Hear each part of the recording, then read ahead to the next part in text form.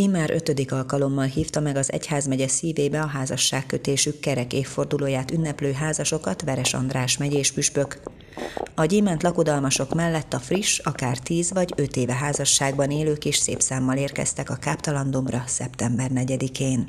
Ez az ő személyes ünnepük, hiszen egymásnak is meg kell köszönniük az eltöltött közös éveket, és egészen biztosan van bőséggel mit megköszönni. Viszont miként a házasság sem pusztán a két személynek, a férfinak és a nőnek a kapcsolatáról szól, hanem annak az egész társadalom felé küldetése van, az egyházon belül, belül pedig sajátos küldetése. Azt gondolom, hogy ezt az egyház közösségében is érdemes, szükséges megünnepelni. Ha pedig arra gondolunk, amit Jézus mondott, hogy ahol ketten vagy hárman összejönnek az én nevemben, biztosan ott vagyok közöttük, biztosak lehetnek a háladó házaspárok abban, hogy itt meghallgatásra talál az imádságuk, hiszen jóval több, mint ketten-hárman gyűlünk össze. Idén 320 pár regisztrált.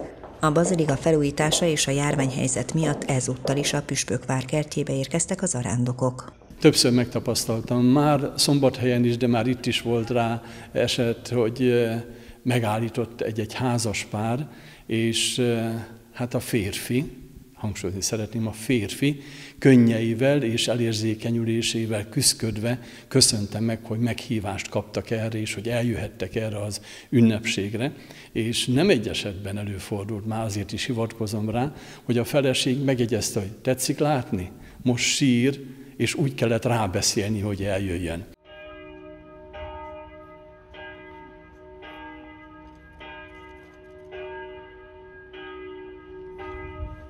A hálaadó Szentmisére öt olyan házaspár is érkezett, akik 60 éve, tehát 1961-ben kötötték össze életüket.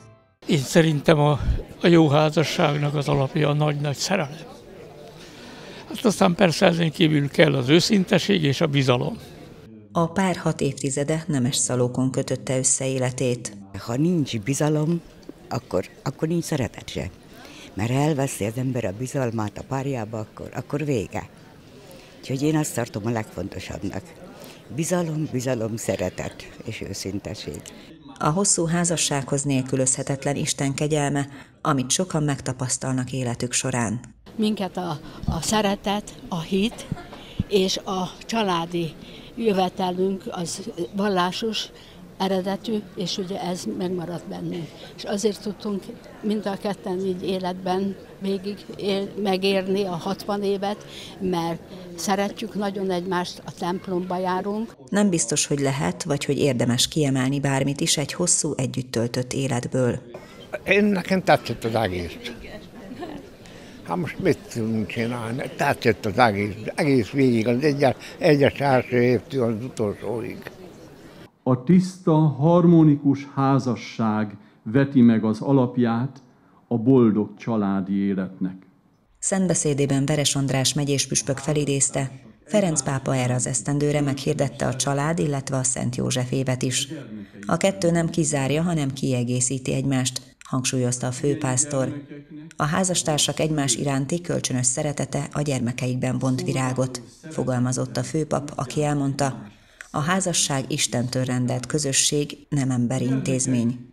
A hűség, az áldozatosság, a felbonthatatlanság pedig a szeretet természetéhez tartozik. Az előttetek álló éveket, évtizedeket tudjátok mindig meghittségben, egymás iránti odaadottságban, hálaadásban megköszönni, és egymást is erősíteni a hűségben, a kitartásban.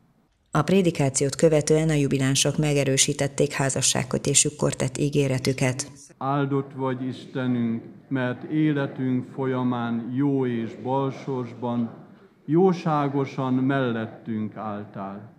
Kérünk, segíts minket, hogy a kölcsönös szeretetet hűségesen megőrizzük, és ezáltal tanúi legyünk annak a szövetségnek, amelyet a Szentírás szerint az emberekkel kötöttél.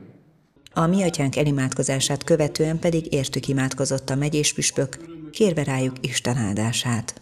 házassági szövetségüket szüntelenül újítsd meg, gyarapíts szeretetüket, erősítsd meg közöttük a béke kötelékét, hogy az őket körülvelő gyermekeik és unokáik között mindenkor a te áldásodat élvezzék, Krisztus, a mi Urunk által. Amen.